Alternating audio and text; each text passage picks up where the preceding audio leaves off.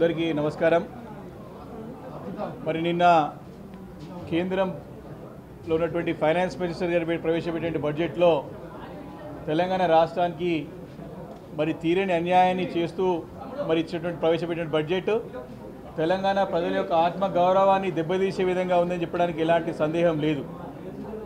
మొన్న జరిగినటువంటి పార్లమెంట్ ఎన్నికల్లో రెండు జాతీయ పార్టీలు కూడా తెలంగాణ ప్రజలను మోసం చేసి వంచి మరి వారితో ఓట్లు వేయించుకొని మరి రెండు పార్టీలు అటు కాంగ్రెస్ పార్టీ కానీ ఇటు బీజేపీ పార్టీ కానీ ఎనిమిది ఎనిమిది సీట్లు పదహారు సీట్లు సాధించి ఎనిమిది పైసలు కూడా తీసుకురాలేటువంటి పరిస్థితిలో ఈ యొక్క పార్టీ ఎంపీలు ఇద్దరు కూడా ఘోరంగా విఫలమైనని చెప్పేసి రెండు పార్టీ ఎంపీలు అని చెప్పి చెప్పక తప్పదు. ముఖ్యంగా మరి గత పది సంవత్సరాల నుంచి కూడా బీజేపీ తెలంగాణ రాష్ట్రానికి తీవ్రంగా అన్యాయం చేస్తూ ఎప్పుడు కూడా విభిన్న చట్టాల్లో ఉన్నటువంటి హామీలను నెరవేర్చాలా ఉన్న చట్టాలను అమలుపరచాలని చెప్పేసి పదే పదే ప్రశ్నించినప్పుడు మరి తెలంగాణ రాష్ట్రం పట్ల గతంలో ఉన్నటువంటి ప్రభుత్వం పైన మా బీఆర్ఎస్ పార్టీ పైన కక్ష కక్ష పూరితమైనటువంటి మరి ఒక ఆలోచనతోని అనేక ఇబ్బందులకు గురి చేసినా ఎన్నో ఇబ్బందులు పెట్టినా మా స్వశక్తితో కేసీఆర్ గారి నాయకత్వంలో మా యొక్క సొంత రాష్ట్రానికి వచ్చేటువంటి ఆదాయాన్ని పెంచుకొని మరి వనరులను పెంచుకొని రాష్ట్రాన్ని అన్ని విధాలా అభివృద్ధి చేసుకుంటూ ముందు పోయిన సంగతిని గుర్తు చేస్తూ ఉన్నాను. మరి దేశంలో రెండు పాయింట్ ఐదు శాతం ఉన్నటువంటి జనాభా ఉన్నటువంటి రాష్ట్రం ఇది చిన్న రాష్ట్రం. మరి కానీ జిఎస్డిపికి రెండింతలు డబుల్గా కాంట్రిబ్యూషన్ జిఎస్డిపిలో డబల్ షేర్ కాంట్రిబ్యూషన్ ఉన్నటువంటి రాష్ట్రం తెలంగాణ రాష్ట్రం.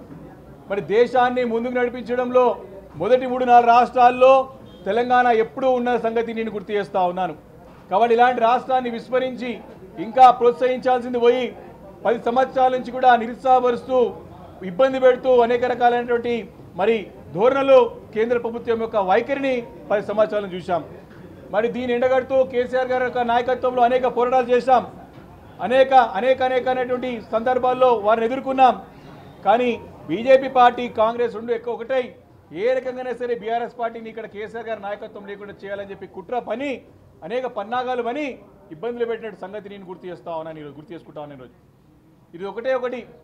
నిన్న ముఖ్యమంత్రి గారి యొక్క స- పత్రికా సమావేశం సాయంత్రం చూశాం. మరి వారు కొత్త నాటకానికి తెరలేపే విధంగా మాట్లాడుతూ ఉన్నారు.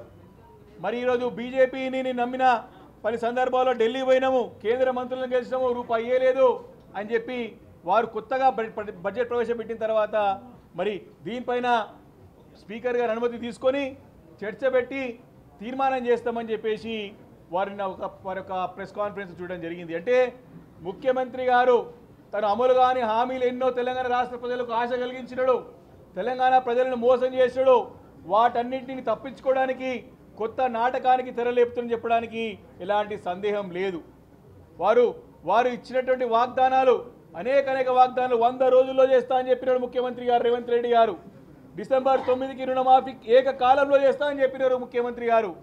వీటన్నింటినీ తప్పించుకోవడానికి ఈరోజు అసెంబ్లీలో చర్చ పెట్టి కేంద్రం పైన నెప్ప మోపేటి ప్రయత్నం చేస్తా ఉన్నారు. పది సంవత్సరాల నుంచి కూడా కేంద్రం చెప్పడం నయా పైసా మనకు సహకారం లేదు ఎప్పుడు ఇబ్బందులు అని చెప్పి పదే పదే మేము చెప్తూనే ఉన్నాము. కానీ ఈరోజు కేంద్రం మీద నెప్ప మోపి వారిని అడ్డుగా వారి సాకుగా చూపించి ఇక్కడ ఉన్నటువంటి ప్రధానమైనటువంటి వారి వాగ్దానాలు ఏమవుతున్నాయో వాటన్నిటిని ఎగ్గొట్టే ప్రయత్నం చేస్తూ ఉన్నారు. తప్పుదారి పెట్టించే ప్రయత్నం చేస్తూ ఉన్నారు. వాటిలో కోతలు పెట్టే ప్రయత్నం చేస్తూ ఉన్నారు కటింగ్ చేసే ప్రయత్నం చేస్తూ ఉన్నాడు ముఖ్యమంత్రి గారు. దీని ఎట్టి పరిస్థితుల్లో బీఆర్ఎస్ పార్టీ ఉపేక్షించదు తెలంగాణ ప్రజలన్నీ కూడా గమనిస్తూ ఉన్నారు. ఎంత పెద్ద నాటకానికి తెరలేపినంటే జూలై పదిహేనో తారీఖునే మరి అక్కడ ఉన్నటువంటి ఎడ్యుకేషన్ మినిస్టర్ గారు ధర్మేంద్ర ప్రధాన్ గారు జూలై పదిహేనో తారీఖునే లిఖిత పూర్వకంగా ముఖ్యమంత్రి గారికి లెటర్ ఇచ్చినాడు.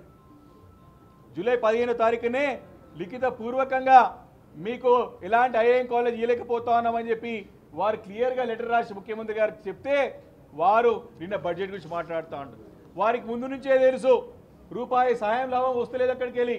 కానీ వా దాన్ని దాటివేసే ధోరణిలో ప్రయత్నం చేసుకుంటూ మరి కుమ్ముకు రాజకీయాలు చేసుకుంటూ తన కేసులకు వెళ్ళి బయటపడాలి తన కుర్చీని కాపాడుకోవాలి బీజేపీతోని రాజకీయంగా ఒప్పందం చేసుకొని ఇక్కడ కేసీఆర్ గారి నాయకత్వాన్ని బీఆర్ఎస్ పార్టీ లేకుండా చేయాలని చెప్పి కుట్రలు పన్నుతున్న సంగతిని ప్రజలందరూ కూడా గమనించాలని చెప్పేసి ఈ సందర్భంగా మనవి చేస్తా ఉన్నాను. కాబట్టి ఎట్టి పరిస్థితుల్లో ఈ రాజకీయ కుట్రలన్నింటినీ కూడా ఖచ్చితంగా విచ్ఛిన్నం చేయడం ఖాయం కేసీఆర్ గారి నాయకత్వంలో. ఇవి పెద్ద కొత్త కు- కుట్రలు కుతంత్రాలు కేసీఆర్ గారు ఎదుర్కోవడం కొత్త ఏమి కాదు. వారి ఉద్యమ సమయం నుంచి కూడా వీటన్నిటిని ఎన్నో ఎదుర్కొని ముందుకు వచ్చిన సందర్భాలు ఉన్నాయి. కాబట్టి మళ్ళీ కూడా ఈరోజు ముఖ్యమంత్రి గారు అనేక కుట్రలు కుతంత్రాలతోని బీఆర్ఎస్ పార్టీని లేకుండా చేయడం వారు ఇచ్చినటువంటి హామీలని ఏ రకంగా ఎగ్గొట్టి ఏ రకంగా కటింగ్ పెట్టి ప్రజలకు మోసం చేయాలని చెప్పేసి చూస్తా ఉన్న సంగతిని ఈ సందర్భంగా మళ్ళీ చేస్తా ఉన్నాను. కాబట్టి రాజ్యాంగ స్ఫూర్తితోని doctor Babasaheb B R Ambedkar గారి యొక్క పొందపరిచినటువంటి ఆర్టికల్ మూడు ప్రకారంగా తెలంగాణ రాష్ట్రాన్ని సాధించుకొని సాధించుకున్న తెలంగాణని దేశంలోని అగ్రగామి రాష్ట్రంగా తీర్చిదిద్దబడి మరి చిన్న రాష్ట్రాలే మిన్న రాష్ట్రాల సిద్ధాంతంతో ముందుకు వెళ్తా ఉన్నాం. కానీ ఈరోజు కేంద్రంలో ఉన్న రెండు జాతీయ పార్టీలు రెండు నేషనల్ పార్టీస్ ఇటు కాంగ్రెస్ కానీ బీజేపీ కానీ తెలంగాణ ప్రజల యొక్క ఆత్మ గౌరవాన్ని దెబ్బతీసే విధంగా. విభజన విభజన చట్టంలో ఆంధ్రప్రదేశ్ రాష్ట్రానికి తెలంగాణ రాష్ట్రానికి రెండు కూడా మనకు హామీలు ఇవ్వడం జరిగింది. రెండు కూడా అనేక అంశాలు చట్టంలో పొందుపరచడం జరిగింది. గత పది సంవత్సరాలు ఎప్పుడు కూడా మన ఆంధ్రప్రదేశ్ గురించి చర్చ తప్ప తెలంగాణ కోసం ఇప్పుడు మాట్లాడే దాఖలాలు లేవు.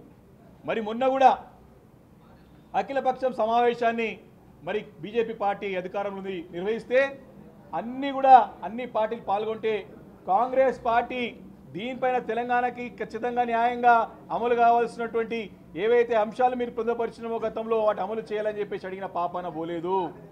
కాంగ్రెస్ పార్టీ యొక్క ద్వంద్వ వైఖరికి వారి యొక్క తెలంగాణ పట్ల వారికి ఉన్నటువంటి చిత్తశుద్ధిని మనం ప్రశ్నించాల్సిన అవసరం ఉన్నది. అన్ని అన్ని పక్షాలు అటు బీజేపీ వారు అఖిలపక్ష సమావేశం ఏర్పాటు చేస్తే పక్కకు ఉన్నటువంటి ఆంధ్రప్రదేశ్ రాష్ట్రం వారు వారి రాష్ట్రానికి కావాల్సినటువంటి నిధుల గురించి హక్కుల గురించి అడిగినారు. బీహార్ రాష్ట్రం వాళ్ళు అడిగినారు.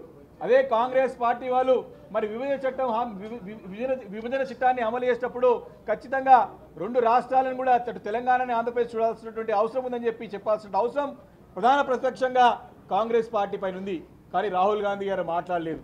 దాన్ని ఎందుకు ప్రశ్నించారు? ఇక్కడ రేవంత్ రెడ్డి గారు అడుగుతా ఉన్నాను. మీరు ఢిల్లీలో ఒక మాట గల్లీలో ఒక మాట మాట్లాడుతూ ఉన్నారు. దీన్ని తప్పుపడుతూ ఉన్నాం. ఎట్టి పరిస్థితుల్లో మీరు కేంద్రం పైన నెప్పం మోపి మీరు మీరు ఇచ్చిన హామీలను ఎగ్గొడితే మా ఎగ్గొట్టే ప్రయత్నం చేస్తే మాత్రం మేము ఊరుకోము ప్రజలు ఊరుకోరు పెద్ద ఎత్తున పోరాటం చేస్తాం. ఈరోజు అసెంబ్లీలో ప్రధానంగా అనేక అంశాలు చర్చగా చేయాల్సిన అవసరం ఉన్నాయి. వాటిని దాటివేయడానికి ఈరోజు ఢిల్లీని వాళ్ళు కేంద్ర ప్రభుత్వంపై ప్రవేశ- ప్రవేశపెట్టినటువంటి ఒక బడ్జెట్ని తీసుకొచ్చి మరి దాన్ని నేపం దానిపైన మరి దాన్ని చూపెడుతూ ఇవన్నీ కూడా దాటివేసే ప్రయత్నం చేస్తే మాత్రం ఊరుకునే ప్రసక్తే లేదని చెప్పేసి కూడా నేను మనవి చేసుకుంటూ మరి ప్రజలందరూ కూడా దీన్ని గమనించాలా? ఈరోజు రెండు పార్టీలు అటు కాంగ్రెస్ పార్టీ కానీ ఇటు బీజేపీ పార్టీ కానీ ఈ రెండు జాతీయ పార్టీలు తెలంగాణ రాష్ట్రాన్ని మరొకసారి మోసం చేస్తూ ఉన్నాయి. తెలంగాణ ఆత్మగౌరవం దెబ్బతీసే విధంగా వీరి యొక్క చర్యలు ఉంటా ఉన్నాయి. దీన్ని గమనించాలా? తెలంగాణ ప్రజలకి తెలంగాణ రాష్ట్రానికి శ్రీరామ రక్ష కేసీఆర్ గారి నాయకత్వం బీఆర్ఎస్ పార్టీ తప్ప ఈ రెండు పార్టీలు కావు. తప్పకుండా తెలంగాణ తెలంగాణ ప్రజల పక్షాన ఉండి ఇటు అసెంబ్లీలో కానీ అటు కేంద్రంలో ఉన్నటువంటి మరి యొక్క మన కౌన్సిల్ మన రాష్ట్రంలో కానీ తప్పకుండా పోరాటం చేస్తామని చెప్పేసి సందర్భంగా మనం చేస్తా ఉన్నాను